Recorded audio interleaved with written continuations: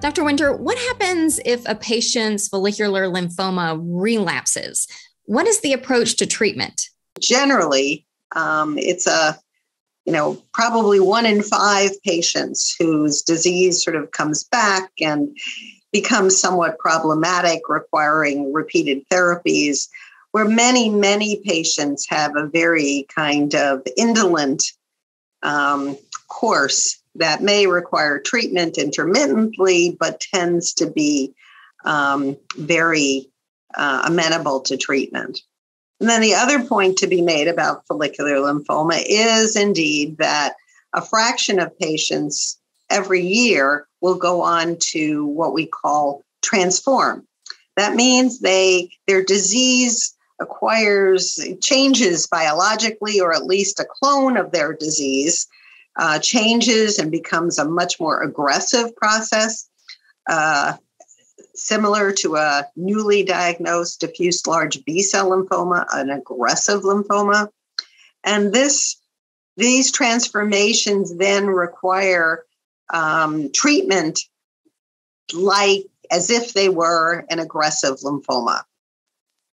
And they have, they also, despite being somewhat frightening because of the sense of changing from a low grade to a more aggressive process, um, in very many cases, these are uh, well treated with standard, especially in patients who haven't had prior therapy for follicular lymphoma or just Rituxan.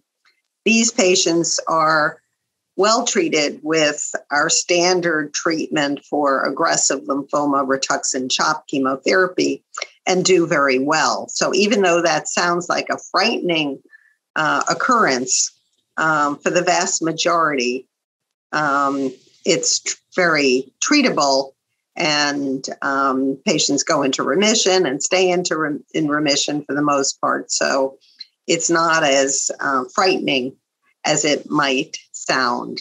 And how how many patients and when do they transform? There's lots of confusing data.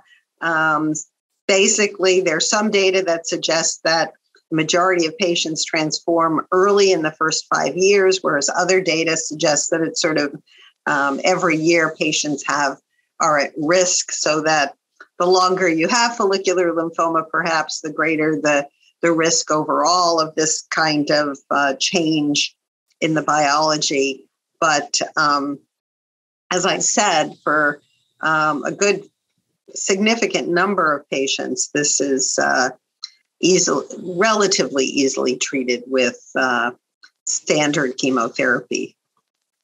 Just another point in terms of potentially curative therapies these days, we're, we're afraid to use that term in follicular lymphoma because it does have this tendency to sort of keep coming back um, over time. So, um, whether any treatment is truly curative um, remains to be seen, perhaps in very a very um, small fraction of patients uh, might be eligible, young patients, for an allogeneic stem cell transplant from someone else, but this is um, not commonly pursued these days, um, as well as uh, a new therapy called CAR T cell therapy, uh, which is a form of immunotherapy and may indeed um, be curative, but at this point, it's really too too early to uh, make a claim. Um, of cure with that strategy, but a very exciting new immunotherapy, as well as some other new immunotherapies, something called BiTE chemotherapy, BiTE um, cells, which uh, harness our own immune system, much like the CAR T cells do. So lots of new things. Um, and so it's these are these are exciting times for us as uh, treating physicians and hematologists, but they are exciting times for patients because we have so much to offer.